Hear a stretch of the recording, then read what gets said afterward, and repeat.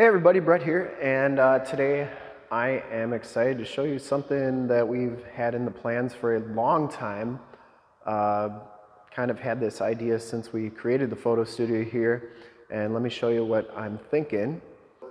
Over here is our workstation for our photographer, and for me when I'm doing my videos, basically we take the photos and then we can upload them right away uh, to the internet.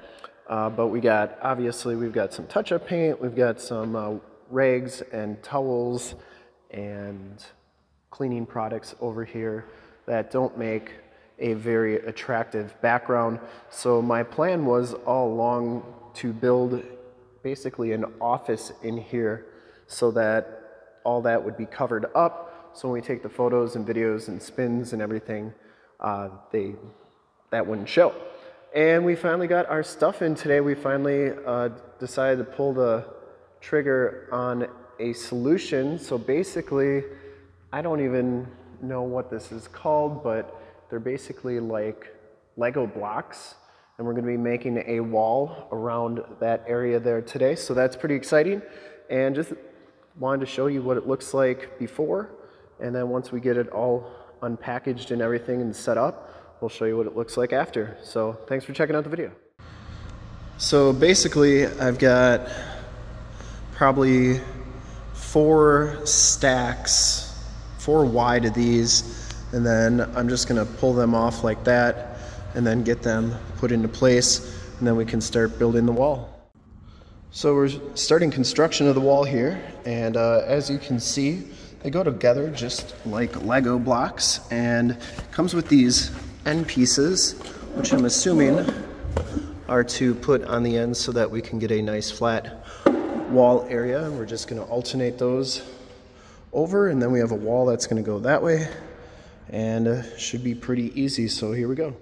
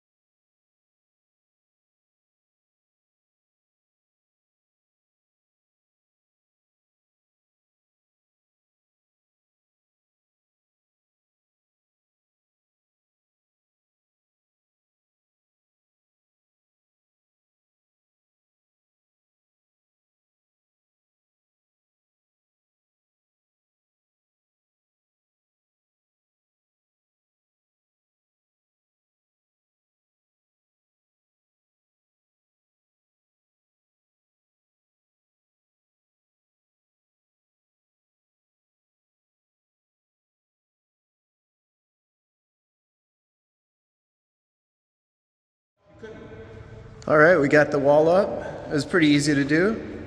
And a company is called XPO. Actually, the, the brand of the stuff is XPO, and Versare is the company. Expo.com. XPO.com. Looks really good. And everybody left. So now our computer and everything is hidden so that it's not in the photos and looks really good. SummitAuto.com. Here we go.